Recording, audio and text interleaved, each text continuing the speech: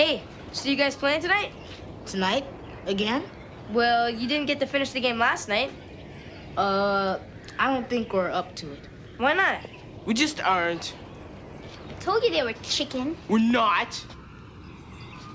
Vern just told you that story to scare you. She doesn't want anyone else joining the group. I thought you said you weren't afraid of ghosts. I said I believe it when I see it, and I saw it. You didn't see anything. They told you a story and your mind filled in the rest. No, we saw Old Man Corcoran. sure you did. Ah. That's enough. We'll be there tonight. Great. See you there.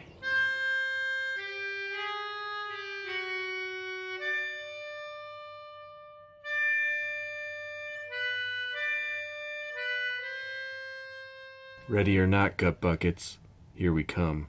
This is Big Orange Couch, the 90s Nickelodeon podcast where we talk about all things 90s Nickelodeon. My name's Joey. I'm Andrew.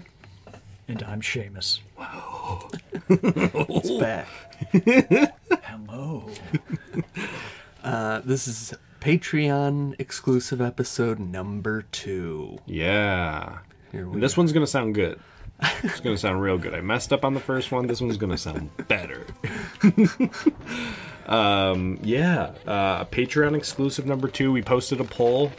Um, technically, like this and Super Specs, I think we're tied, but because uh, our friend Seamus here, Seamus had expressed an earlier interest in uh, what we're calling OMC, Old Man Corcoran. Oh, Um, and so it just seemed like, yeah, let's go with this one.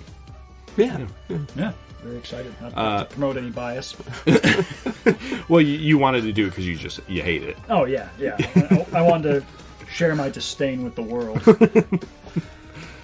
Uh, before we get started here, just a special shout out to all the people who have supported us so far on Patreon: uh, Clayton, Tim, Ted, Kev, Tara, Katie, Brooks, Vaughn, Jordan, uh, our friend Kevin, Brad, Allie, Brian, Shelby, Bob, Jason, Jennifer, Tony, Marlena, Sid, Chris, Vincenzo, Honest Abe, and our friend Bup.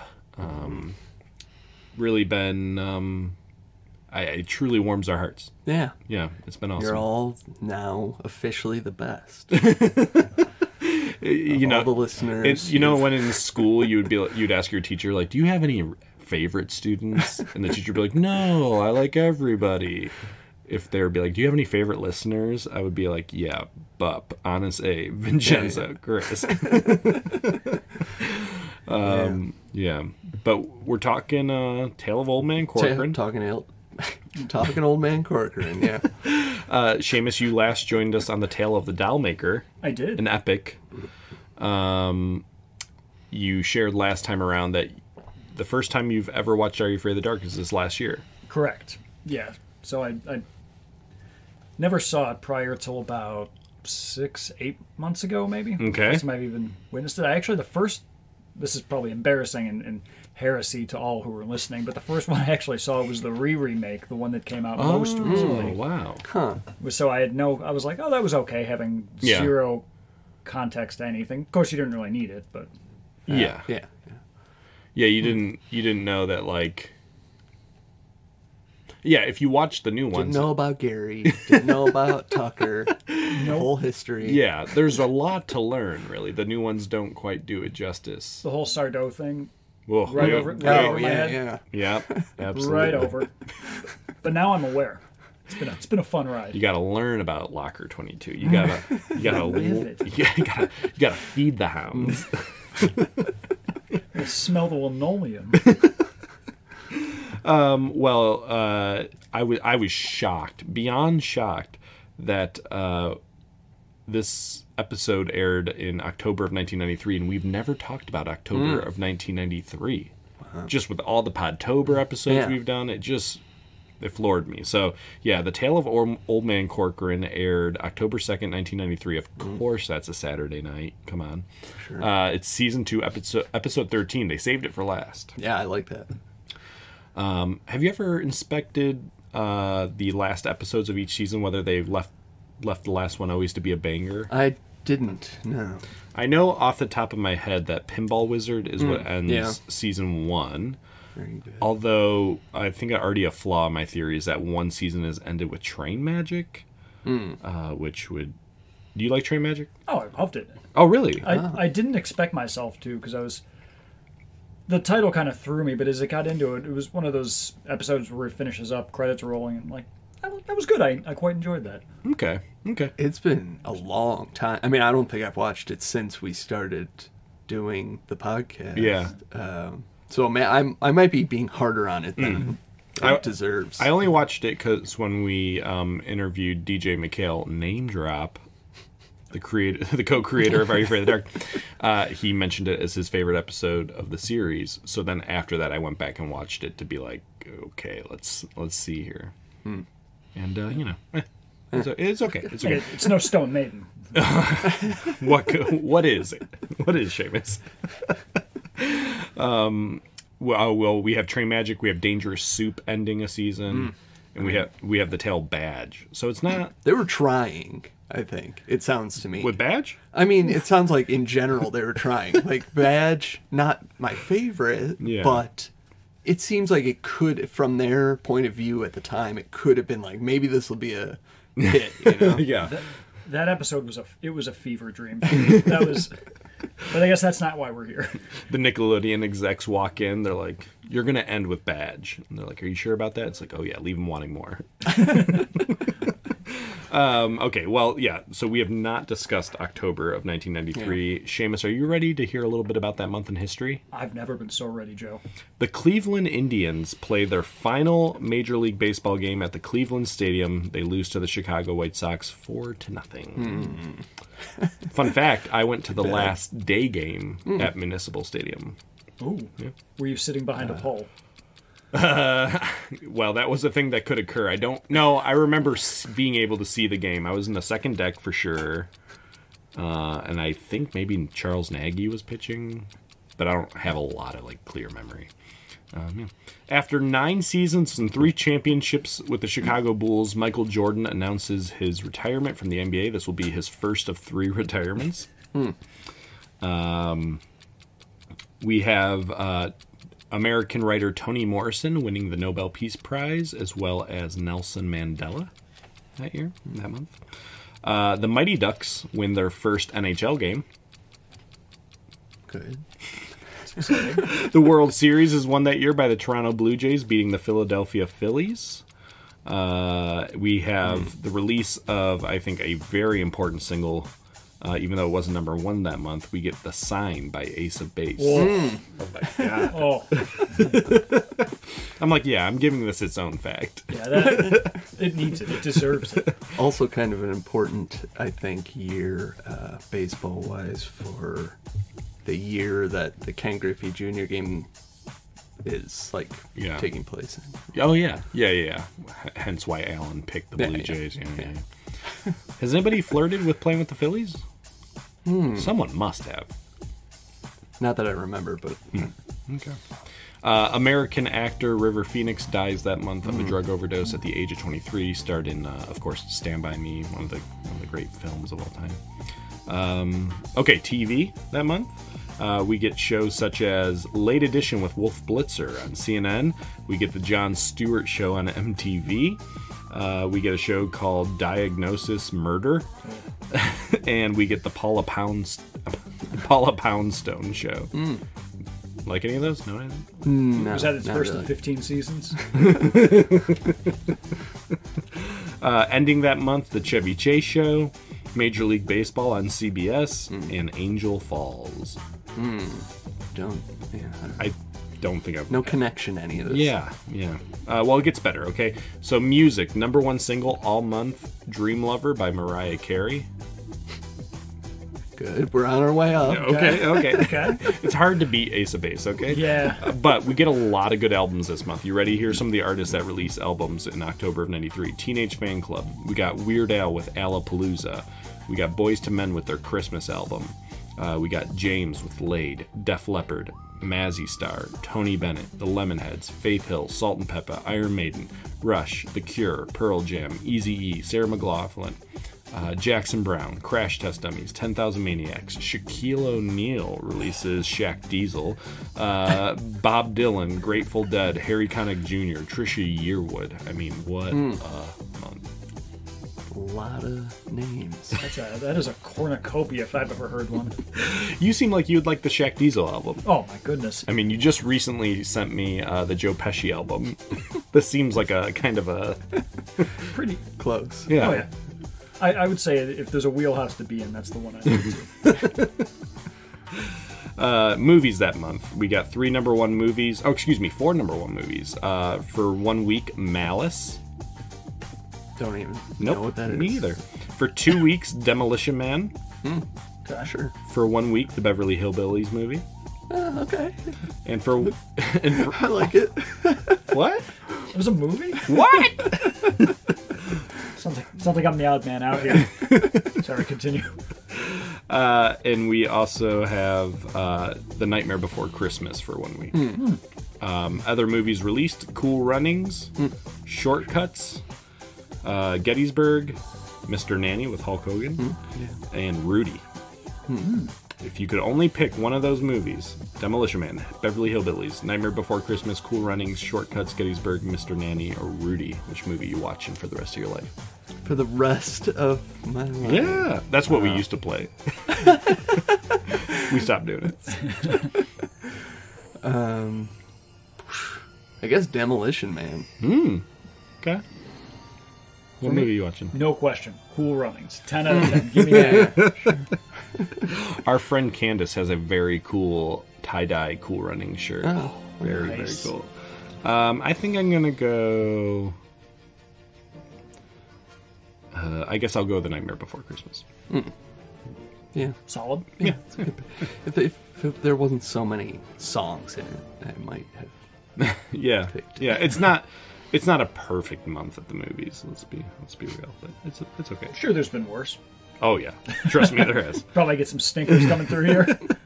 Uh, video games. We have Aero the Acro-Bat, Oh, yeah. Arcus Odyssey, Castlevania Rondo of Blood, Championship Pool, Cliffhanger, Daffy Duck, The Marvin Missions, uh, Madden NFL 94, Mega Man, Mega Man 6, and most uh, relevant to this podcast, Ren and Stimpy Veediots.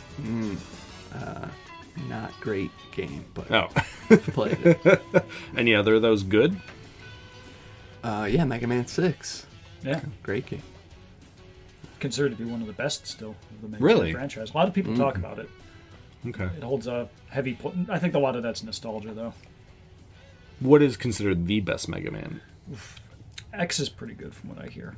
I think 2 is pretty uh, a pretty common answer, but my favorite is 4. For those. Two, four, six, Curious. ten. Okay. All right. All right. Well, that's a little bit about the month of October of 90, 1993. You know what? I have something that sure. I thought I would just share with the Patreon listeners. Um, since I've gotten a few requests for it, the where I got the popcorn recipe for uh, New Year's Eve. Wow. This is. Those not, not on Patreon are going to be upset that they're missing this. Oh boy.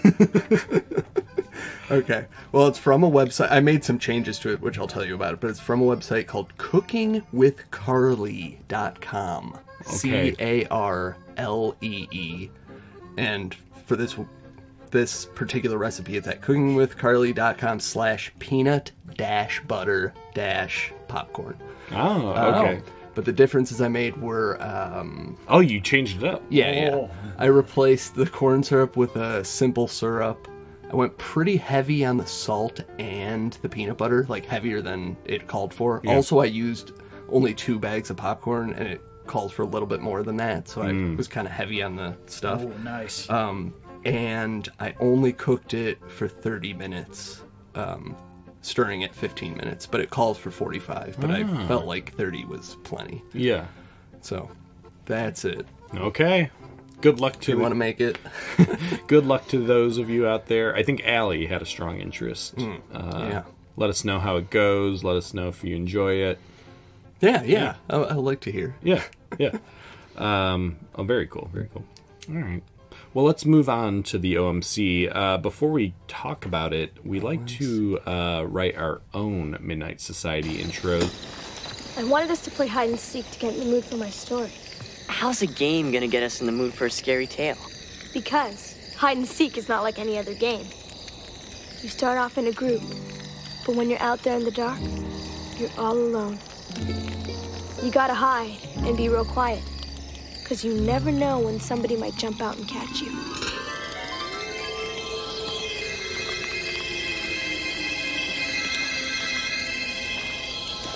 My story is about a game of hide and seek, but with a twist. When you play the game in my story, you never know when you'll get caught. And you never know who or what might catch you. Submitted for the approval of the Midnight Society. I call this story The Tale of Old Man Corcoran. What did you make of uh, Kiki here?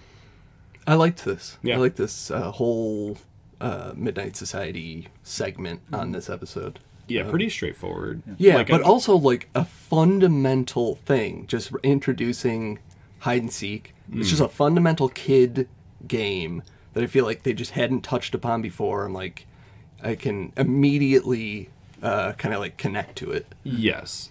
Yeah, there are some episodes where they're trying to do some gimmick that feels like not close enough. Yeah, Not yeah. closely enough related to what the episode's about. This Yeah. feels like they actually knew what episode they were Yeah, introing. yeah, Yeah. that's true. It was it was nice. I when it, when it was starting, I was initially thrown by something that I'd never encountered before. Did either of you catch when they were um, touching the main chair? And this could have just been me growing up in some bizarre, Hmm. strange area where this never occurred. But when they were saying home free versus safe when they were touching the chair, Yeah, Yeah. what, what was up with that? My interpretation was like when they were writing it, they're like, let's just cover both bases here. Mm. Who knows what these kids are saying? Let's try to connect with them, you know, either way. That makes Um, sense. Which two did they use? Home free and what? Safe. Say see well, I guess safe. Yeah, I think safe is. Yeah. Safe made sense. I mean, is that what you I used was- to say, or are you familiar with any of this? Or Safe seemed to resonate more with me. It's just the, the use of both of them. Ah. It's like, do they do they imply different things? What's going on here? There's Yeah, a yeah. there there's a lot of hide and seek terminology period in this episode. yeah, Yeah. I like it. Um, but safe feels like one syllable. It's quick. It's just it feels easier to say. you know? Yeah. Yeah. All right. Well, do you want, we want to go around and share our intros? Mm, sure. Sure, most of the time games are just dumb fun. But not all games are as fun as they seem. In fact, the kids in my story are about to find out that no matter how hard you try, some games just aren't fun at all. Like Monopoly. Submitted for the approval of, B- of the Big Orange Couch. Wow, a whole intro just to slam Monopoly. Premeditated. I like it. wow. Do you really not like Monopoly? Um, yeah, I don't really like it. Yeah, I don't either. I always think I'm going to. I think I like the look of it Yeah. and the pieces and stuff, but Yeah. the game is not ever fun. I'm always Yeah. just mad when it's over. Yeah. What about Junior Monopoly? Have you have you ever given that a whirl? I have. I don't remember it like at, almost at all now. I know when I was a kid I had it. We played it. Um, That's Have you played it recently? That's the Monopoly based on the Arnold Schwarzenegger movie. oh yeah, yeah. Where the if you lose the game, you you, you, you end up pregnant. um, I have played the electronic version, and it is so frustrating. Like the Yeah. cal- the calculator and the oh, cards. Yeah, what the hell? yeah. Give me give me the cash. Yeah. yeah, yeah, yeah. Um, all right, Seamus, you got a little intro for us? I do. I'm I'm actually prepared this time. Love it. Moving is never easy, especially if you end up in some loser neighborhood. but what's a kid to do in the welcome wagon, clad in more denim than a Calgary tractor pool, brings you to the front gate of the, the most dangerous game? Submitted for the approval of the Big Orange Couch. Wow. Very that was good. good. That was really good. Very Yeah. good. Yeah. Nice. Very funny. Loved it. Well, I decided to put some technology to use here. I don't know if you guys have heard about this newfangled website called ChatGPT, where if you enter yeah. Mm-hmm. a prompt, it'll write for you. So I did that. I entered the prompt, write a Midnight Society intro for Old Man Oh, Corcoran. wow. And with a few more cues of like, make it shorter, Yeah. changed the storyteller to Kiki because it actually made it Betty Ann for some reason.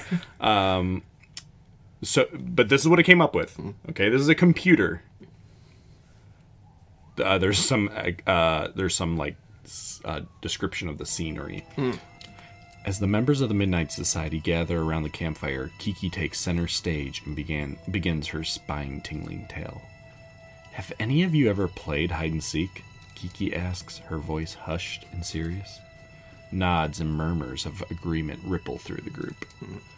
We all know that hide and seek can be fun and a harmless game played by children all over the world. But what if I told you that sometimes when the game is played at night, in the wrong place, with the wrong people, it can become something far more sinister. She leans closer to the group, her eyes glinting and flickering in the firelight. You see, when the darkness descends, the places you thought were safe become twisted and menacing. The seeker can be anyone or anything lurking beyond your line of sight. Kiki pauses, letting the weight of her words settle in over the group. So beware when you hear the call of, Ready or not, here I come. You never know what kind of horror might be waiting for you. Submitted for the, the approval of the BOC. Um, yeah, a, a little wordy, A little wordy, But- Chat GPT. but uh, pretty pretty accurate. Pretty astonishing, honestly. Like, it had the cues of, like, it knew before I said anything. Like, it had Betty Ann. Like, it had the names. yeah, yeah. Yeah, the fact that it knew about hide and seek and integrated that so well. Yeah. Now I did have to refine a little bit. They kept talking about an old man in a cabin. I'm like, it's giving too much away. Stop talking about the old man in the cabin. Feather the bright. But uh, all right, very good. Should we get into OMC? Let's do Yeah, it. oh, yeah. At the campfire, the members of the Midnight Society race to tag the storyteller chair. David is the last to arrive, and he's declared it for the fourth time in a row. David just can't catch a break. When Kristen asks why they're playing a dumb kids game, Kiki assures her it isn't just a dumb kids game. She explains that she wanted them to play hide and seek to get in the mood for her story. As if this that needed to be said. Every, everybody in this episode, from the Midnight Society to the actual episode, are so concerned with whether hide and seek is a kid's game. Yeah, yeah. Like, come on. Can we still play hide and seek? They're like really. Well, we were teenagers. We loved it. Oh, yeah. yeah, yeah. I'd play it right now. Yeah. Oh yeah. What the hell? Um. Okay, that's the end of the episode. We're Uh, but when you play the game in Kiki's story, you never know when you'll get caught or who or what might catch you. sure. Boy, it's true. It's like ChatGPT wrote it. Yeah, seriously. Kiki explains that Jack and Kenny Harris just moved into the neighborhood Ooh. and hadn't made friends, made many friends yet. Ah, classic. Perfect setup. yes, it's like copy and pasted out of uh, every episode. Yeah, yeah. Uh, as Jack fills his water gun, a pack of wild kids comes roaring down the street on their five speeds. Can, can we talk too about the discrepancy of the size of those water guns? Oh, yeah, yeah, yeah. not fair. Preposterous. like, like Kenny had the full backpack and the whole nine, and Jack had just like the, one of those little one tanked Yeah. water pistols. Yeah, not fair. It might be why he, he was being so strategic and trying to sneak up because you know something like that you gotta you gotta have the advantage. Wow, advantage. that's actually possibly right and a little more thoughtful than I would have guessed, you know. Um, uh, when Jack is least suspecting, Kenny drenches him. But as they break into a water gun war, they run into one of the local kids who invites them to play hide and seek with him and his friends. Boy, this jean jacket rules. Yep. I wore a jean button down today in honor. Wow. Jeez. This, this is ceremonial garb. Like then. it. Listen, I respect my man Marshall. I respect his style. The, That's really going above and beyond. the oversized jacket and those, Mm. those, those jeans on top of it. It- You know, go ahead. go ahead. I will say uh, about this scene of them riding up, while I like it, while it's very, uh, you know, I don't know, it looks cool, um, it doesn't really, like, jive with the rest of the story. No, Like, it should have been cut out, sort of. I think. or even if it wasn't, it's weird that the it's weird that most of the kids just stay on the street and let Marshall do all the chit chatting. If I- it just feels like why is there this gap? Uh, uh, that I kind of like. I feel like it's like they're just trying to make these kids seem mysterious. Like, just give you a little sense of that without Sure. actually doing anything. Okay, okay. Yeah. Um, I think the thing that caught me too was like when they were initially when Marshall and the gang showed up, they were coming in hot. Oh, yeah. Like they were coming over that hill oh, Yeah. like they were they had some serious business. Oh to yeah, do. oh yeah, they do. They have Right. very serious fair- business to do. Nothing's more serious than this. You guys made any friends yet? Well, if you want, you see those guys over there? Yeah? We get together every once in a while for a game of hide and seek. We're playing tonight if you guys want to come. I don't think so. Why not? Well, it's just a stupid kid's game. That's okay. You guys would probably be too afraid to play where we do anyway. Where do you play? End of Anchor Street, behind the big gates. Why do you say you'd be too afraid to play there? Let's just say it gets pretty dark in there at night. Yeah, well, we're not chicken, are we, Kenny? No. Meet us there at sunset. Unless you're afraid. That night, Jack and Kenny show up at the gates, only just which they, uh, which this kid mentioned. I should say. Yeah, gates, Uh, big yeah, gate. yeah. The the the shot to reveal the cemetery Yeah. through the gate is sick. It's Yeah. like Yeah. it's like a pullback. You come out of the gate, shows you the cemetery. Very. I mean, Ron Oliver was. Yeah, totally effective. And in fact, I even like uh, when I was kind of like looking at stuff going over this episode, I went back and I was thinking like, how did I know it was like I was surprised that they never revealed to the kids specifically like this is oh this is a cemetery. I'm like, I- how did I know it was a cemetery? When I went back to that shot, it's like, oh, like, that's very obvious. Sure. Yeah. Yeah. As they wander the graveyard, the kid from earlier jumps out and scares them, and the rest of his friends step out from behind the headstones. Yeah. I like this. This is an episode I think once you know the twist actually gets better on Yes, rewatch. Yeah. Oh, absolutely. yeah. There's like Yeah. things to look for, and it's much creepier actually. Yeah. You know, one thing I noticed though, and correct me if I'm wrong, I don't think the main kid like gives his name at any point. no, he doesn't. Okay. Hmm. I was going back over it like, is there some re- I'm not sure there's really a reason for it that it makes sense, Yeah. but Yeah, he's the leader of the gang. Yeah, but he doesn't say I am. yeah. And I'm sure that might be on purpose. That's what It I thought, but be. but then I was like, but, But he what- introduces what's everybody else. Yeah. Like one by one, he introduces. Plus, at the end, I feel like it would just end up being more effective if we Yeah. had his name once or twice more. for sure. Yeah. Yeah. But uh, it's small, huge hiccup. you know. Well, okay. uh, I do like this stepping out of the head, out from behind the headstones. Yeah. though. good, Really effective. Just good thinking. Oliver, Ron Oliver is cooking with fire here. Yeah. he is. Yeah.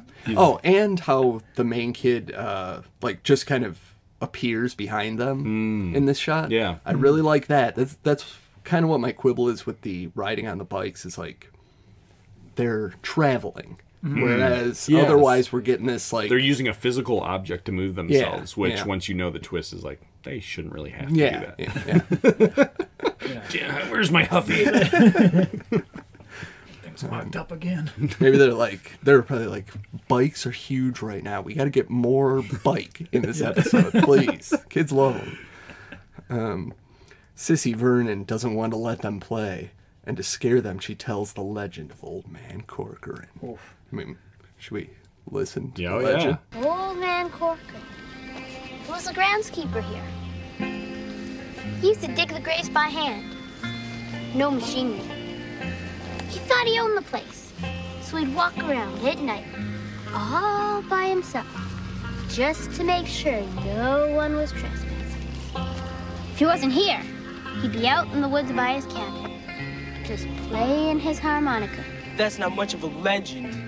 Oh, it gets better. They say he was crazy. They say he caught this kid stealing something from his shack. So he took an axe and cut his hand off. Wham!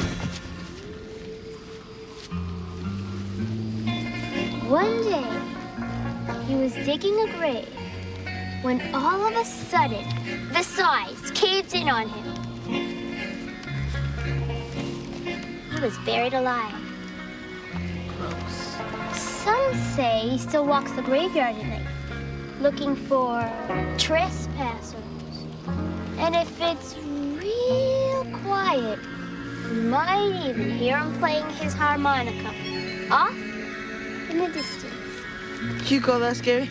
Shoot, my grandma's scarier than that. Man, Sissy's so good. yeah, she's good. great. Like so good. uh, uh, question. So she walks with a little bit of a limp. Do you think this is a char- three options really? Do you think the actor has a limp? Do you think it's a character choice, or do you think it's like trying to show us something about maybe the way something happened? Oh, huh. I didn't even think about that, but I I like it. Okay. okay.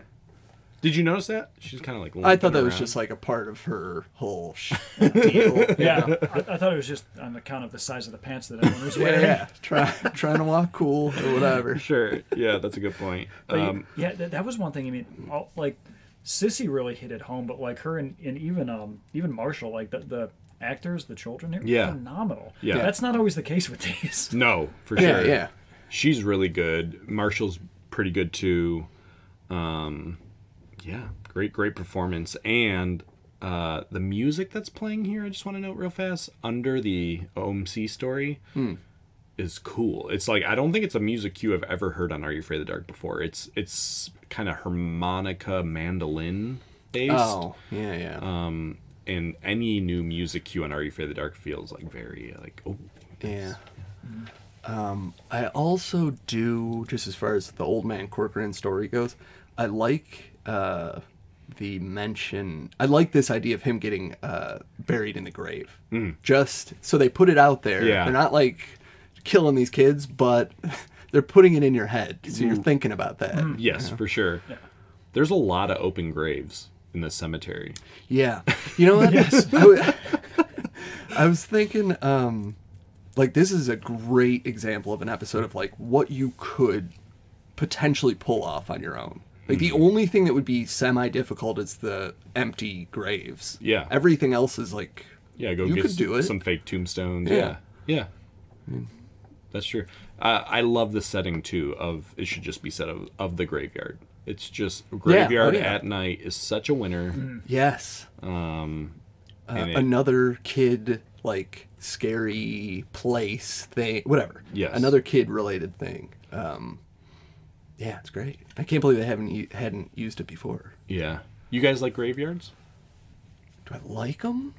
I mean, Just the, the, the appearance or like Being at, I yeah. I mean, I love graveyards. yeah, I mean they're, they're quiet. you just like it aesthetically. I like it ex- aesthetically. They're like really peaceful places. Do you It's like, the idea of the purpose of it? Like, do you go and like? there's do you feel like yeah, you there's- get, uh, there's something kind of beautiful about it to me of like this like final resting place with all these people together from different walks of life and like you know they're made to look pretty beautiful we have one here that i frequent a lot that's really beautiful i mean like above and beyond uh, called lakeview uh, a president's buried there one of the richest men to ever live is buried there a lot of lot of cool people um, and so that's another part i enjoy which is like the historical element of walking around like finding people do you go? I mean, do you like go to family members' graves and have any say, sort of like connect, like Mm-hmm. Yeah. feel like you have a deeper connection? Some.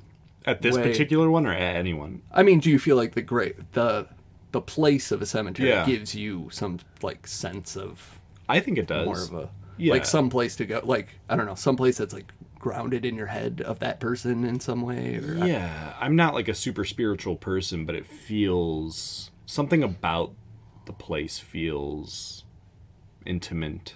In, excuse me, intimate. eh, Am I saying that right? intimate Intimate. intimate and uh, yeah, personal. I don't know. Uh definitely as a kid i loved the just idea of it and Yeah. like the even not sure that i was necessarily afraid of cemeteries but i like the idea of being afraid of it as a kid yeah, Yeah. yeah, that's for sure. Yeah, I think especially like the old cemeteries, like the ones that aren't kept very well, that like things are starting Oh, to yeah. Overgrown. Those, oh yeah, those Yeah. those have those have a totally different vibe than like a, a Lakeview does, where it's Yes. Oh, 100%. Uh, last summer, I was at a, a place in Ohio that had this, like, abandoned, I mean, truly abandoned graveyard. And you're right, it's a different vibe. And the, the graveyard in this episode feels closer to that, where it's Yeah. like, you know, old man Corcoran's overseeing things, but he's not the young guy he used to be. And so, you know, it's a little overgrown, a little shaggy. Mm-hmm. Yeah. good. Good question. Good question, Joe. If you have any favorites, shout them out. I mean, uh, Jack and Kenny get, don't believe the old legend, and the game gets underway. As they run off to hide, they come upon an empty grave and end up following the sounds of a distant harmonica. Boy. Mm. I love this harmonica thing. It's so ridiculous, but great. It's just interact. it feels like the perfect thing to have this character doing. Mm-hmm. Like, and of all the instruments they could have picked, it's just a nice, like, I don't know. There's no dedication to it, no setup. He just all of a sudden picks it up, fires off a few notes, and then back on the stump. But you get a sense in this episode of his tradition, of his ritual, Yeah. of leaving it on the stump. Yeah. Um, I don't know. They do a lot of building in a very a few amount of shots, Yeah. which is yeah. which is cool. The sound of the harmonica leads them deeper into the graveyard until they end up outside Old Man Corcoran's shack. Hmm. Can I? Oh, a quick complaint. I don't think Yeah. the shack is shacky enough. I was thinking that that was, that was a straight up house. Yeah, I think the first a ranch. I think the first shot of it's pretty good. Like I Yeah. can't quite tell what it looks like, but then uh, later on they have like the like front door. siding. Yeah, I'm yeah. just like, yeah, the closer yes. you get, the more you're like, oh, that Yeah, looks like sure, my house. But to their defense, I feel like they did probably a good job with what they had. You Mm. know, Yeah, yeah, sure.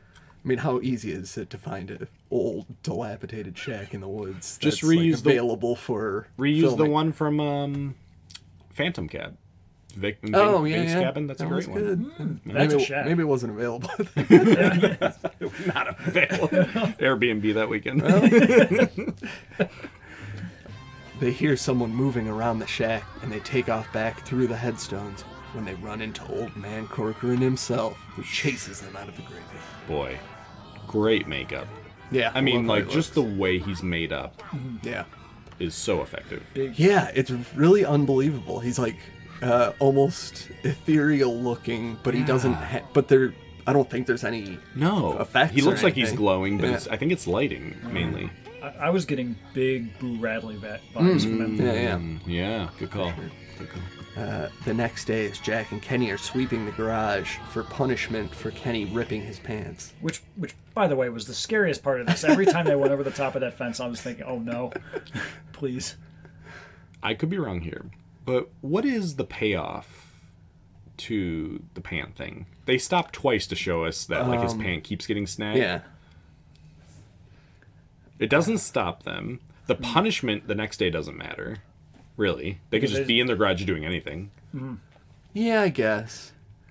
Um, yeah, may, I mean, I guess it's just the punishment, but Because I believe that happened It's- it's twice, a- right? the only the only thing that's good about that Yeah, it is happens that twice. it's an excuse to uh, mention their mom. Like, there's no parents in this episode. Yes. but it is Yeah. a way to like be like, there's a parent adult around here somewhere. yeah, someone's Yeah. here. Okay. well, yeah, someone's looking after us. They can't just get away with everything. Yeah. So the kids, the neighborhood kids, show up again, and Jack tells them that he and Kenny aren't going to play anymore. But when Vernon calls them chicken, he agrees to go back to the graveyard later that night to prove they can tough it out. Oh yeah. And, and I think and, and I think that's kind of sorry, Andrew. I think that, I think that's one of the reasons why I actually kind of like that backstory because specifically, like Jack seemed like he's very much like I don't, I, I don't have you know anything to prove to anybody. I'm Yeah. I'm strong. I'm brave. I can do anything. So there was we'll talk, but I thought that was it was interesting because they talked about how their upbringing was rough, Yeah. and Jack was very much um, you know I'm, I can Yeah. take anything sort of thing. I thought that was interesting. Yeah. Yeah, for sure. It's good characterization. Right there.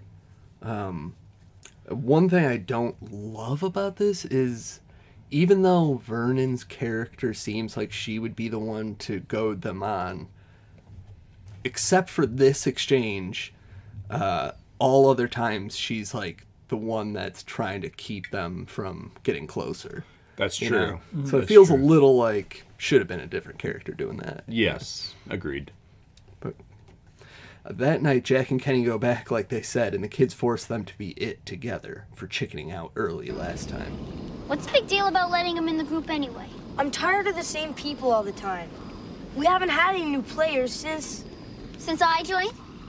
And you said after me there wasn't gonna be any more. Jesse was wrong.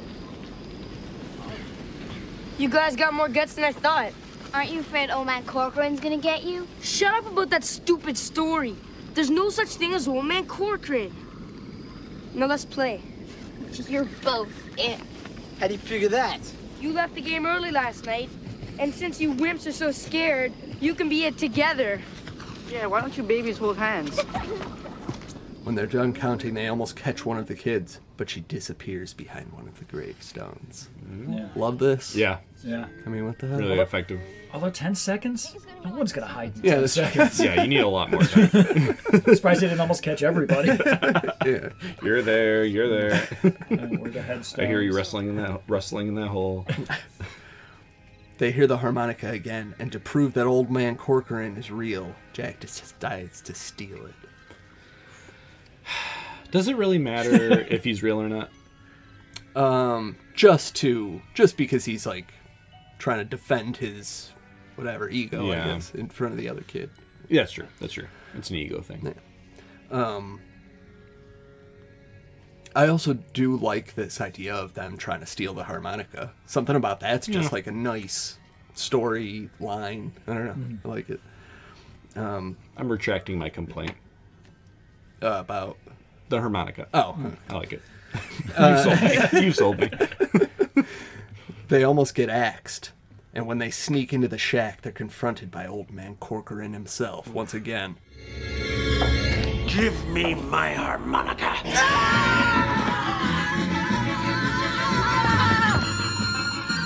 Um, this whole this is kind of like a long sequence. Yeah. Uh, the whole axing thing, but it's you know it's Yeah. effective to like fake a kill.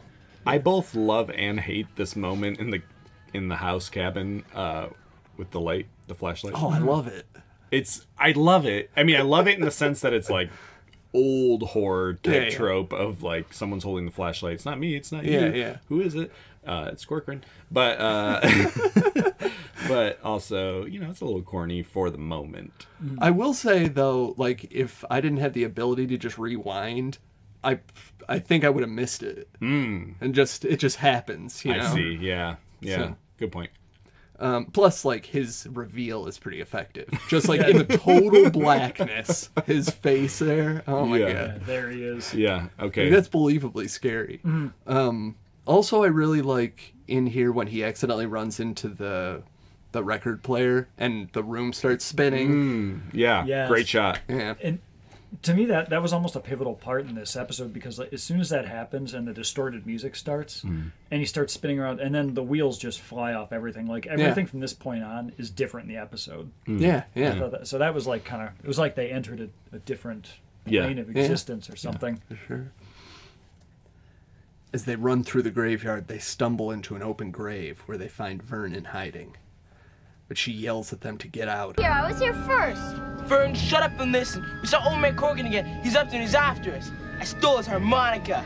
I don't want you here. Did you hear what I just said? Get out of here! Make me! Come on, let's go, Jack. I don't like being in here anyway.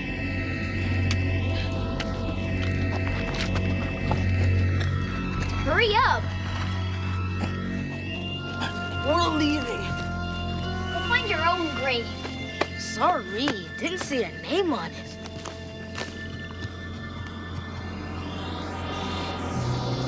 We'll look a little closer next time.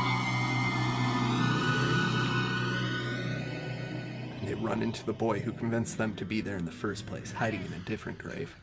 Um, I do like this whole Vernon running into Vernon like she's acting weird. Yeah. Uh, Yeah. It's just it works. Like I just feel like if you don't know what's gonna happen, it's like what's going like what I don't know what her deal is. You know.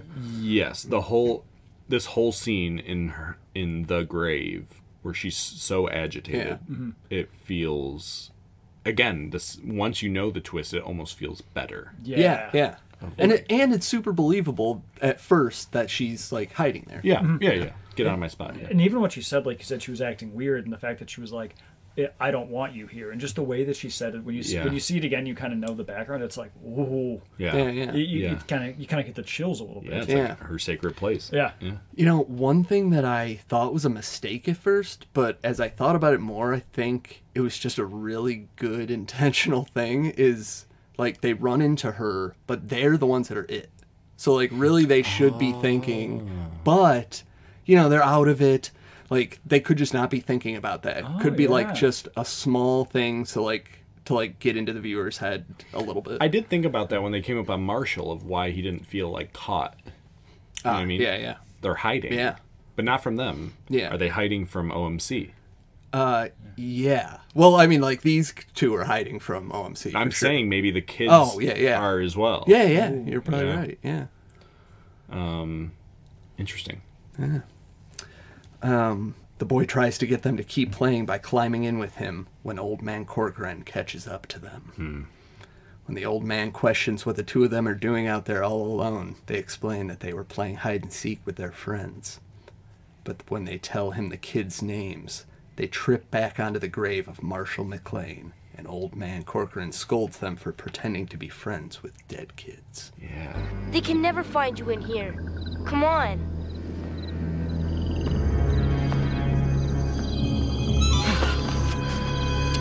What are you doing here? We we were playing hide and seek. In the graveyard. Just the two of you. No, with our friends. Sissy Vernon, Ron Jacobson, Marshall McLean. That ain't very funny. All those kids are dead and buried. I dug the graves myself.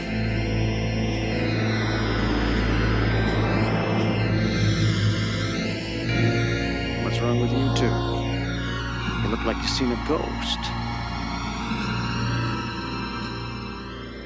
He's been he's been looking after them for years. Yeah. My goodness. Dug those Um, grapes himself. Yeah. yeah, I love that he like he says like this this is not funny. Yeah. You know, and they're of course not joking, but yeah, that reveal is so perfect. it it really is so good. Not only the kids being dead, but old man Corcoran not being a ghost. He's just some Right. guy. Yeah. You know? Yeah. Which, which, when you think back to the whole premise of Old Man Corcoran is that you know he was the one in the grave, he was mm, the one yeah. that was mm. buried, Yeah. and then whew, those tables they Yeah. turned. Yeah. There's that small moment with Sissy too, where it's like, geez, didn't see your name on it. Yes. Oh, she yes. said maybe you should have looked a little closer. Yeah. Yes. and then and then like until this moment it never it really shouldn't really occur to you that the idea of those kids getting buried in the graves like suddenly it gets to the end of the episode and like i don't know for me it like it's just the thought of oh those kids were in the graves just a few seconds ago like they could have been buried along Yeah. with them Mm-hmm. Yeah. know? It, don't you think that's the so let's t- we've gotten to the spoiler old man corcoran's actually the Yeah. overseer the kids are dead isn't the premise that these kids are in a sense at least marshall trying to ensure that these kids Yeah. end up permanently Yes. part of the game? Yeah for sure. It's a murder plot. Yeah, yeah. uh, also, this is why I kind of disliked that Vern, that one Vernon moment, uh, because I really like this idea of like after it's over, it's like she she was being mean to them, trying to get them to like, like, save them. not, yeah, yeah, yeah. Yeah yeah well i mean she does say like you told me i was the last Yeah. like you we wouldn't need any new members after me um and that hits differently too again Mm-hmm. this is a maybe one of the best are you afraid of the dark rewatch episodes Yes, of like agreed. it pays off more and more every time absolutely. Um, Have you seen the jagged sign? yeah i still haven't God. figured it out I'll, I'll watch it one more time Uh, back at the campfire, Kiki asks if anyone wants to play the dumb kids game again. So, does anyone want to play the dumb kids game again? Not it. Not it. Not it. Not it. Not. You're it.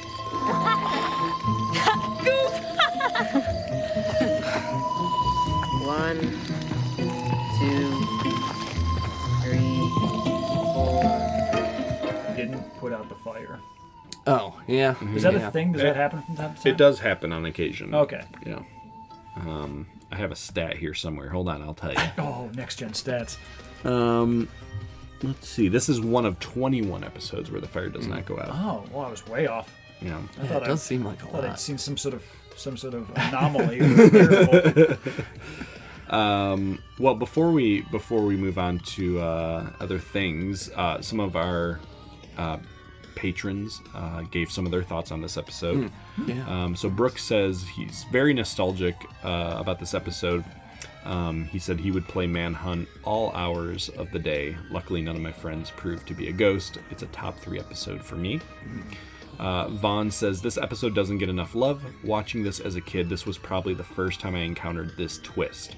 I also feel like this is one of those episodes where every second of the 24 minutes is really well spent.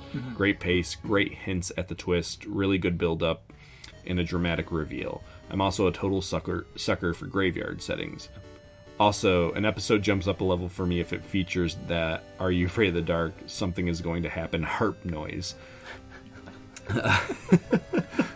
uh, Jordan mentions uh, one of the things that sh- struck me about this episode more more as an adult than watching as a child is how dark the ending is.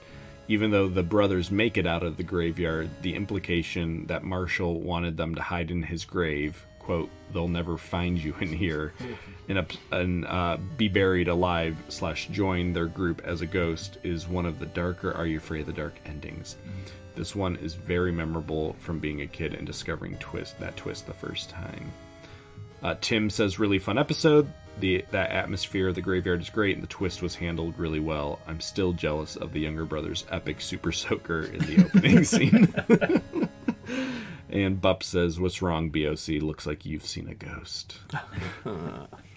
it's not a nice way to oh. talk about Seamus, but okay. Yeah, I do love. Uh, See me? I do love that line too. yeah, nailed it. nailed it for the last line. yeah. Um, okay, well, do you guys want to talk about some of the stuff that went into this? Yeah. Yeah. Hi, this is bios, trivia, ratings, and stray observations.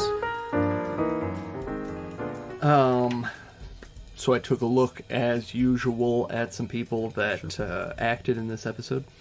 Um, Jack Harris was played by Adam Bono. I want to say Okay, hard to, for me to pronounce it. Uh, we'll just call him Bono. he's also he also he only appeared in a few things over the years, but uh, it included Goosebumps. Oh, okay. Uh, Kenny Harris pl- was played by Michael Alexander Jackson. He also appeared in Die Hard with a Vengeance, Preacher's Wife, and Law and Order. Ooh, He's out there. NAJ. Uh, Marshall McLean was played by Jonathan Cameron.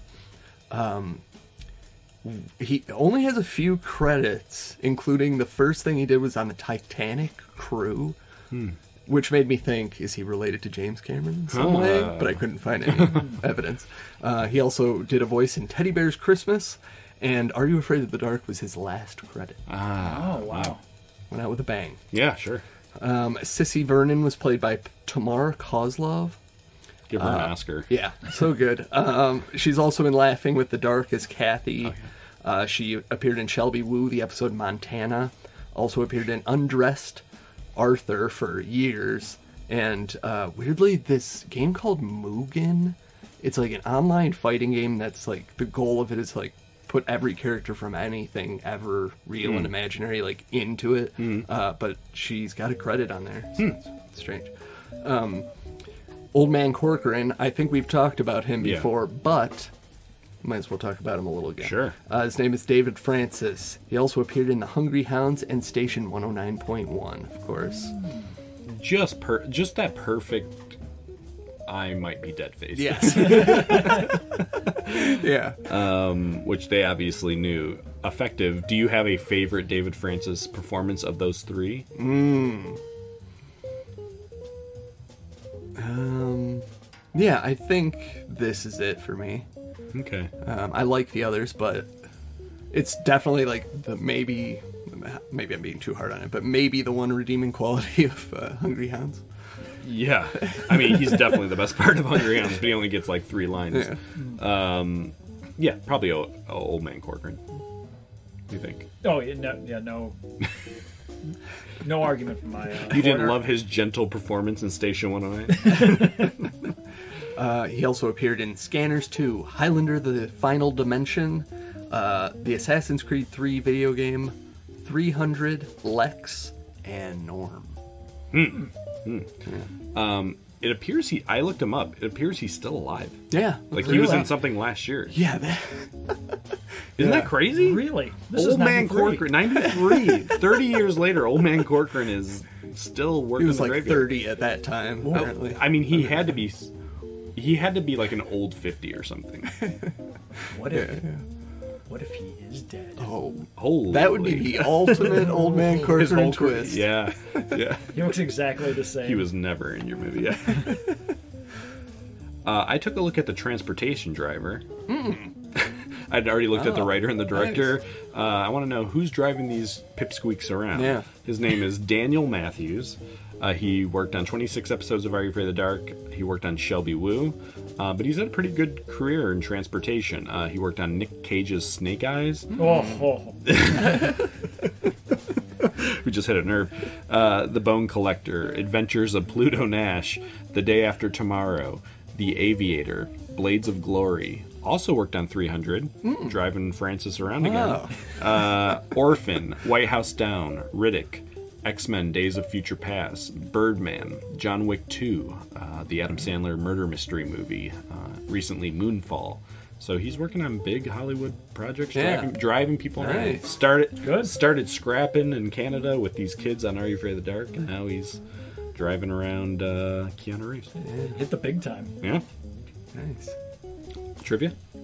Uh, yeah, a few things. Um, this is the last episode for David and Kristen Yeah. before their families mysteriously move away. Yeah, hard way for David to go out. Yeah, what the hell? What a loser. No, I'm joking. I'm joking. I'm joking. I've read this. I'm I'm skeptical of this, but I read it in a couple places that the name Ron Oil Yeah. on one Yeah. of the tombstones Oh, yeah. supposedly uh, reference to Ron Oliver, the It director. has to be. Oil though? It's like I guess it's why not just put his name on there? Jeez. Um. Oh, and we already talked about this being the last episode of season two, but uh, a great way to go out. You know? Oh, for sure. Yeah. Not to mention number thirteen, that that Oh. lucky number thirteen. Oh yeah, yeah. Um, let's see what I have here. Well, this might be more of a stray observation, but I did note that the kids uh, never change their clothes. Yeah. Ah, that's good. They're wearing the same thing the whole episode. Do you think it's implying that that's what they're buried in? Because it's pretty casual That's what I would clothing. assume. Okay. Yeah. I guess eh, maybe a kid you bury them in what they like. I don't know. Because Jack and Kenny changed clothes. Yes. Yeah. Or makes- maybe like yeah. when they died. You know, whatever they were wearing when they died. Oh, I see. Yeah, that's more interesting. Um, okay, yeah, that's all I had. Stray observations. We'll go around. Yeah. Um, did you catch where and when the kids play hide and seek? Midnight. Uh, no. Oh wait, uh, at sunset. Yeah.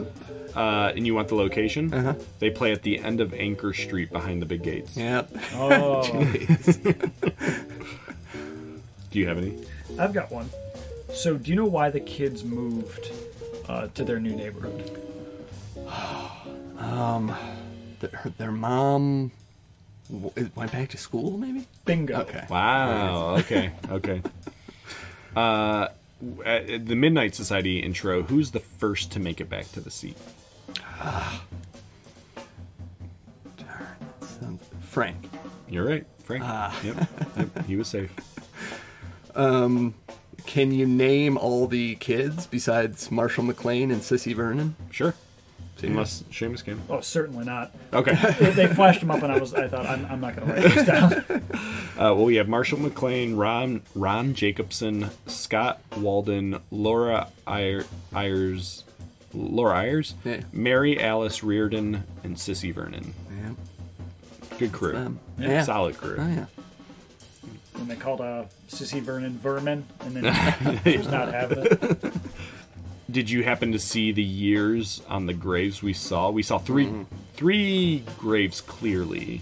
I got the names, but I don't got the. Uh, Okay. uh, Barbara and Sean Dwyer. 1931 to 1930 or 1931 to 1972 is the one we saw. Yeah. And uh, Bill Cutter. Oh, I miss Bill Cutter. Oh. Oh no. that was just barely visible. I'm Okay. not sure the date was even shown. Okay. Marshall's grave was 1965 to 1978, so he was 13. Uh, and then Ron Oil only lived to 20, 1940 to 1960. Um, did you catch the type of harmonica Old Man Corcoran Wow, plays? you could make out the type? Oh yeah. I was watching on Dailymotion. uh, no. Because it was like upside down, right? Yeah. And because at first we were, it was like, does that say Corcoran? Mm. No, there's no way. Yeah. uh, it is chromatic. Chromatic. Okay. Uh, is my last one. Uh, Marshall McLean, we see his grave. Do you, do you catch the name of his parents? He was the beloved son of. Oh, darn it.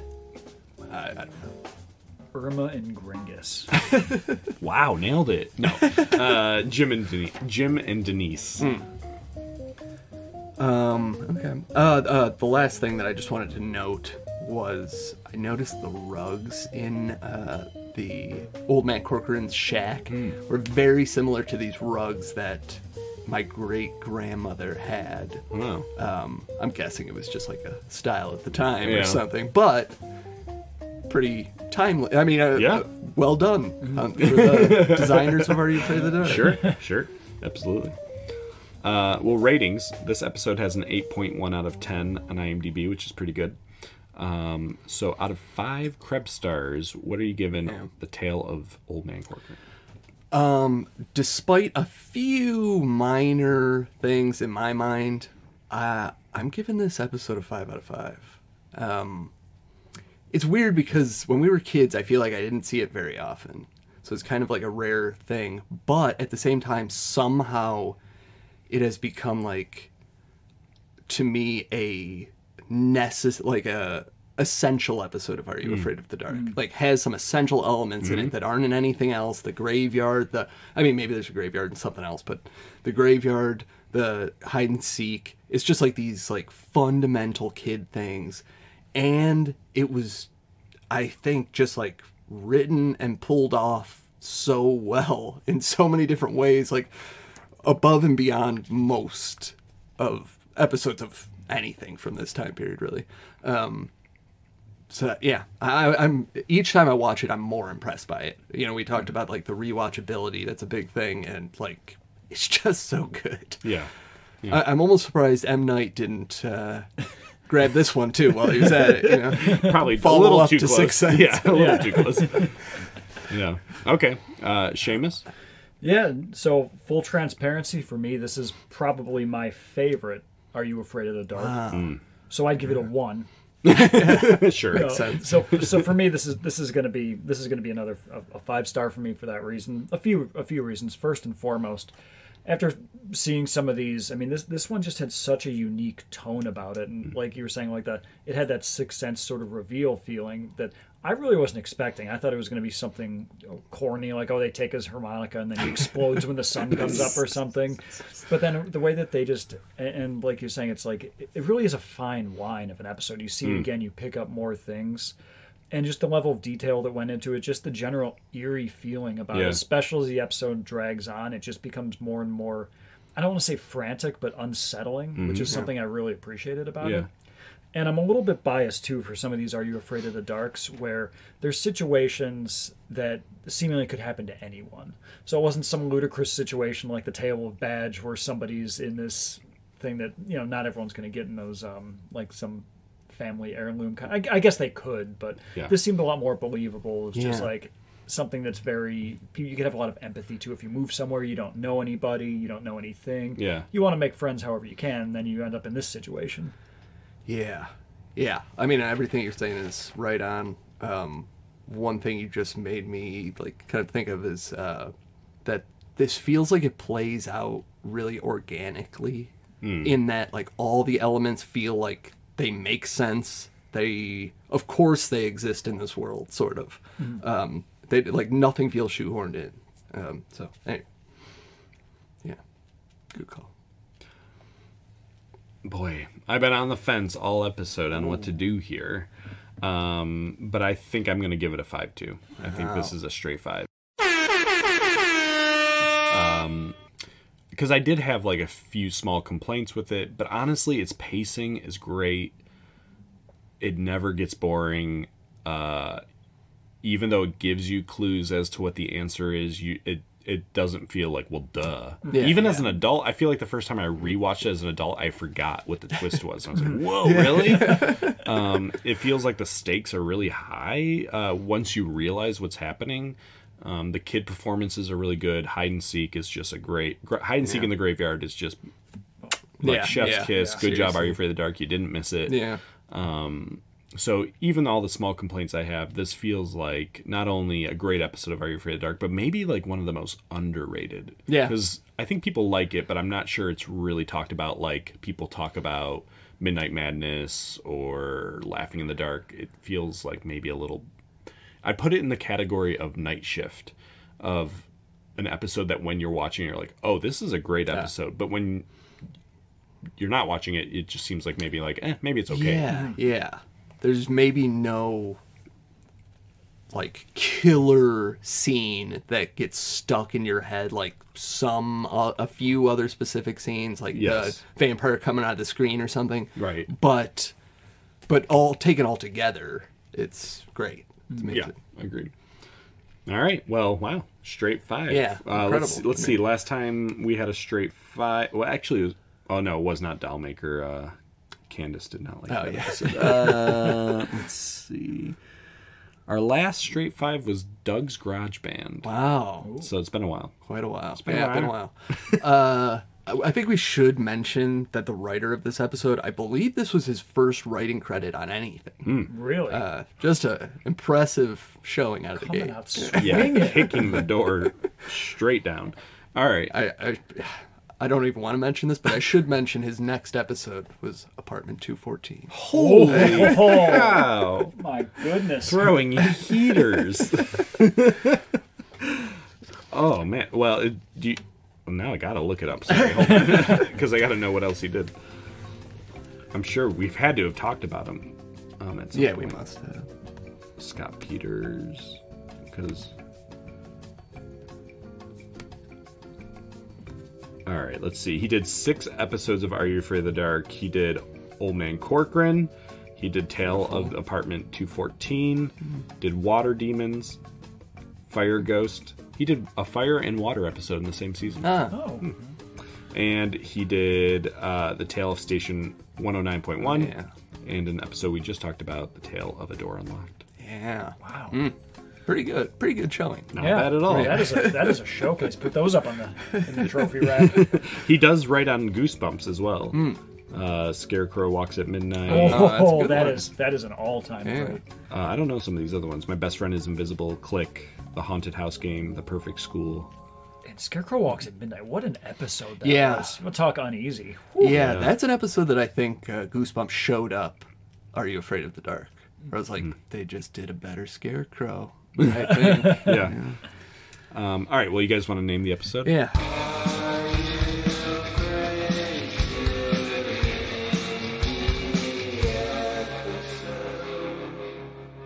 Um, I don't know how we're not going to have the same name. I'm just have that feeling. really Yeah, I, okay. The Tale of OMC, No. or how bizarre I mean. how bizarre. the tale of how bizarre. Ghost in the front. Bikes in the back. Um, uh, I called this one "The Tale of the Ghosts in the Graveyard." Oh. That's good. Ghost in the graveyard. Of course. Okay, Seamus.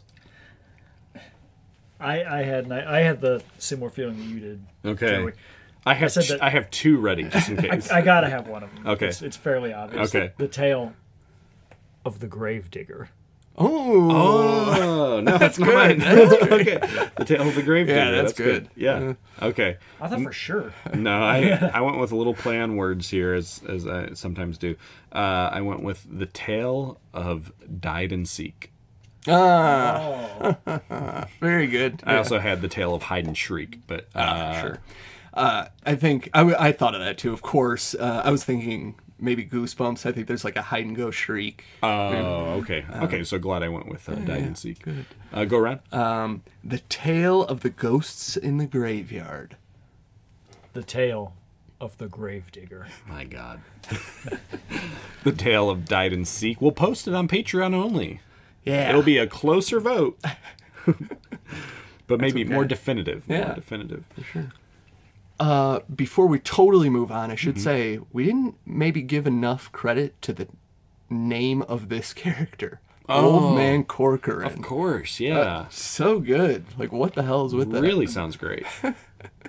just nailed it. Who, who didn't have some old man X growing up that was like some some object Yeah. of mystery? Yeah. And, Yeah. And that name, Mystique. it's it's a good sounding name. Something about those C's in Yeah. there, Corcoran. It's Old weird. It's like Corcoran. it sounds like an old man name. yeah. Yeah, oh, man, Corcoran. You're right. It's a it's a great character name. All the names in this episode are. Yeah, they are good. Sissy's a cool name. Marshall's a cool name. What, And are the, it, what are the main characters? It's interesting because like he almost didn't have to name all these characters Right. necessarily, Yeah. but went out of his way to do Scott that. Peters doesn't play around. No, No. as we've learned. What was the name of the house from a door unlocked? It was Old Man Something's house, wasn't it? Yeah, Albert's. Oh, wow, Yeah. had that one. Yeah. Ready to go. Well, we talked about it not too long ago. Yeah, because I remember I, I yeah, yeah, yeah. All right. Um, well, who knows what our next Patreon episode is? Uh, we that uh, hopefully you guys will help us decide that uh, in a way. But uh, on our main feed, what's uh, what's the next thing we're doing? Um, the next we're talking about is our write an episode, our original rewrite our own episode, That's right. um, in which we'll take an episode of Nickelodeon and rewrite it in our own fashion. Sure. Uh, and Allie will be joining us uh, for that episode. She did an amazing job when we did our um, Clarissa writes Yeah. writing Oh, episode. Uh, loved her uh, therapy. Oh boy, therapy. It was something therapy, but a really cool episode. So can't wait to find out what she cooks up here. Have you been brewing over any ideas? Uh, I got an idea ready to go. Okay, but, okay. Uh, I'm, I'm working on it. I'm working. okay. Um, but uh, yeah, rewrite an episode. Of course, our our patrons. Uh, if we have a guest opening, we'll offer to those to you guys first. Um, and uh, anybody in our Betty Ann tier, if you have an idea for an episode, uh, you guys uh, absolutely please let us know, and uh, we'll either talk about that and or have you on. Be a great time. Yeah. Uh, in the meantime, if you want to get a hold of us, really for you guys, just use Patreon. But uh, we're also on Twitter and Instagram. You guys know that. Uh, you can email us at orangecouchpodcast at gmail.com if you want to share further thoughts. But uh, of course, just again, feel free to use Patreon. Um, Seamus, my favorite patron, real life patron. I'll take it. Uh, thank you for joining us for Old Man Corcoran. Thank you. It, it's it, as always a pleasure. I, I appreciate it, and I, I love every opportunity to talk through these. Uh, series has been great so far. We're actually uh, about to finish it up. Last three episodes of season seven. Wow. That's right. Hold on one second. Hold on. I got yes. I need Oh. I need to know what he's in line Oh, for he's here. He's turning the car around. oh, sorry guys. We were about to end the episode so close. Okay, you have three episodes left. You have. Man, Well- that'd be a way to close it out. Have you seen The Last Dance yet? No, Okay. Oh, have you seen Night Nurse? no, Many Faces? no, Laser Maze? no. So maybe I do have. So- You have you have Oh, quite a few. Keep- a keep photo going. finish no, with the camera. nope, Time Trap. no. Have you watched the seventh season? Maybe you're on that end Maybe of the sixth maybe season. it's the sixth. Oh, okay. So hold on. Let's try again. The Tale of Oblivion, Yes, Vampire Town, yes, Secret Admirer, yes, Bigfoot Ridge. yes. You finished season six. Oh, okay. so you might be like halfway through season seven. Gotcha. Because we, yeah, because What's the last one you watched? Bigfoot Ridge. Oh, so Oh. you're starting season seven. Okay, you got a whole season. Silver ahead of you. Sight, Oh, unfortunately, Ooh, you're in for got an hour and a half bit of a treat. A bit of a treat. Oh, because that's a that's a two-parter, right? Three-parter. Three-parter. Hour and a half, my friend, of pure garbage. Oh goodness, well, I I'll, I'll get the trash can ready. Andrew, Andrew I enjoy it. Andrew likes it. Oh wow, lunar locusts. Oh, I saw Lunar. I, actually, I saw Lunar Locust. Oh, okay, so you've started seven. Because, because who, who's the? You've seen Stone Maiden too, right? Oh yeah. Okay. Oh, buddy. Highway 13? Highway 13 was the last one. That I saw. Okay. Oh, you know what? I bet you maybe they have um, Silver Sight at the end.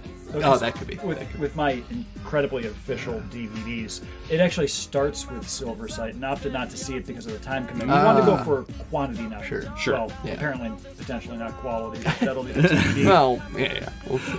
You have quite a journey ahead of you. Yeah, okay. it's gonna be fun. Yep. I forget that there was some jumping around, so pardon my grandiose statement. It's pardon me for derailing this. Thank, thank you for having me. You're Yeah, great guest, great episode. Um, we hope we'll see all you ghost kids next time. By the rights, how bizarre. How bizarre, how bizarre. Ooh, baby.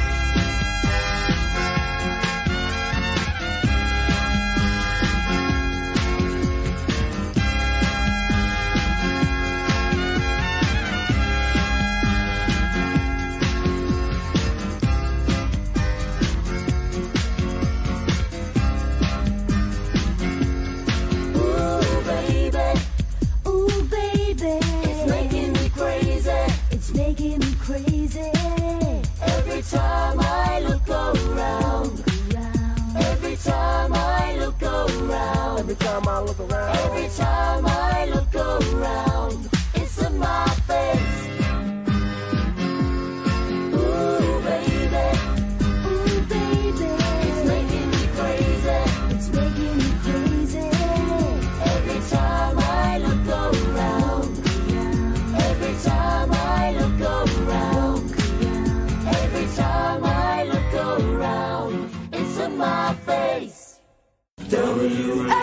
W-A-R-T, Ward Radio, Wellsville.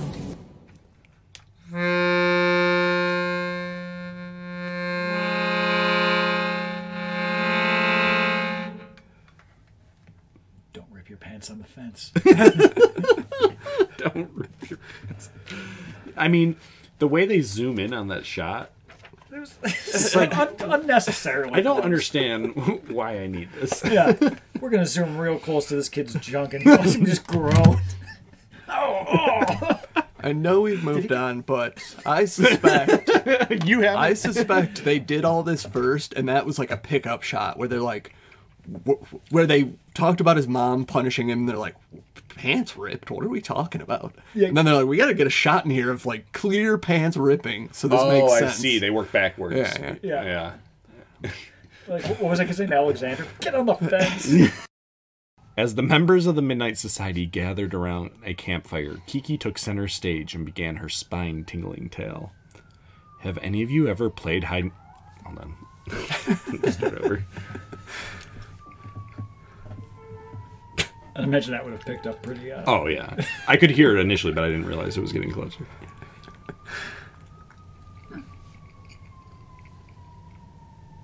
Are we safe?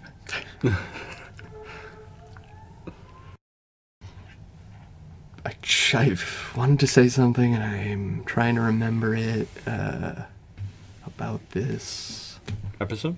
Yeah. Oh,